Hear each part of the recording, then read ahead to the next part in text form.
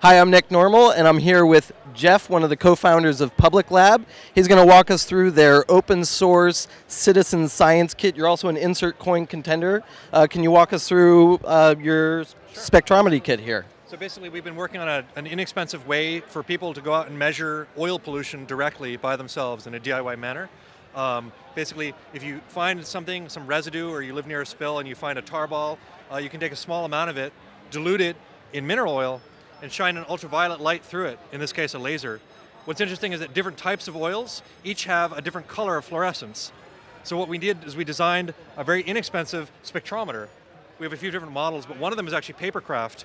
This one folds up out of a single sheet of paper, and you add a piece of a DVD, like this. You actually cut open a DVD-R to make it. Uh, you put that right there, and you attach it to your smartphone or to a webcam, and then you can use our open source software online.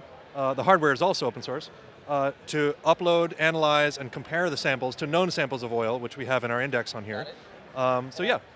Are you, sort of geotagging that data then? yeah, you can on the website for sure. And I think what we'd like to do is support people who are affected by oil pollution to build a case and collect evidence about that and get really engaged in activism around oil and gas accountability. That's great. And are you selling this? Is it free? Uh, we are selling them. Um, we have different models. So this is the paper one, which you can also see down here.